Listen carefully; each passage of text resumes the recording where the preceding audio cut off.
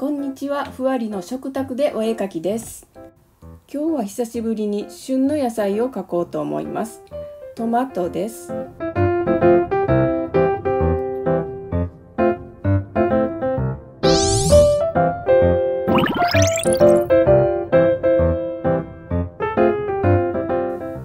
まずいつものように鉛筆で下書きします。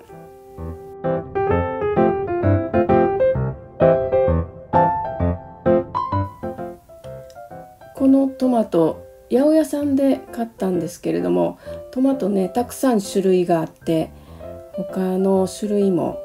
えー、迷ったんですけれどもあのスーッと綺麗なトマトじゃなくてこのトマトはこうムキムキこう肉肉しいというかこうムキムキしてたので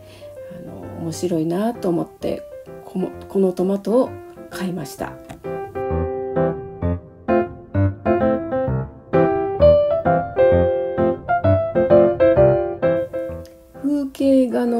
時とは違って風景画は写真を撮ってきて、えー、見て描いたりしてるんですけれども今は、えー、トマトのモチーフを目の前に置いて実物を見て描いています。後から気がついたんですけれども並べているモチーフとして並べているトマトの写真を撮るのを忘れていました。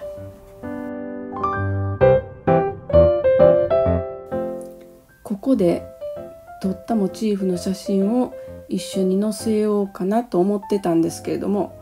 いや撮らずしてさっき食べちゃいました。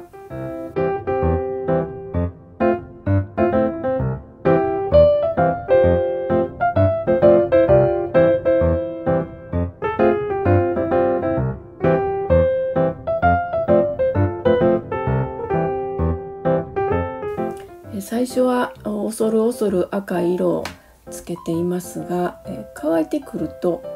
色が浅くなってくるので、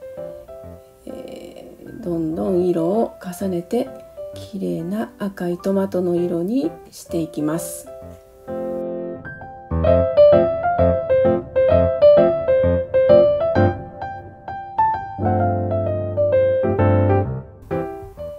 同じパレットの中で赤い色を3つのトマトにつけてるので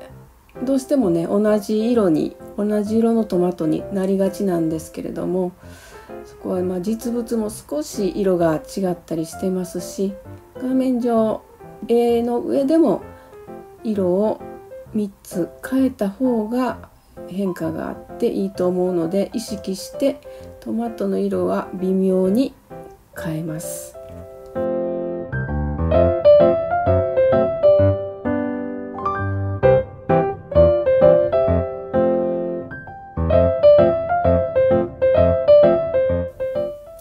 光の当たっているところでうまく塗り残しで光を表現できているところはいいのですがそれ以外のところですでに塗って絵の具を塗ってしまっているところは、えー、もう少し光らせたいと思うところを水で溶かして綿棒でこすって取ったりしています。こするというよりも、えー、トントンと軽く押さえて絵の具を拭き取る吸い取らせる綿棒に吸い取らせるというくらいです。強くこすると画用紙が傷んでしまいます。